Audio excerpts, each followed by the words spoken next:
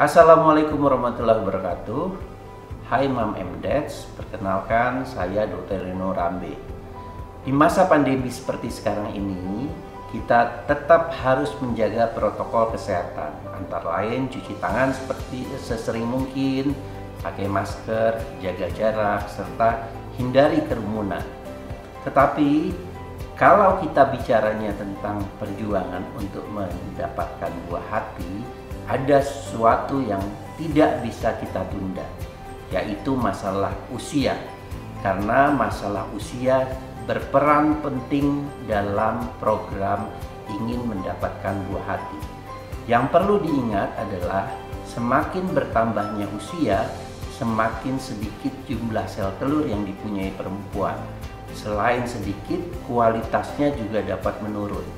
Karena itu, Mam Dads, segera periksakan diri Anda apabila Anda sudah menikah lebih dari setahun tetapi belum mendapatkan keturunan ke rumah sakit yang mengadakan pelayanan untuk mendapatkan buah hati.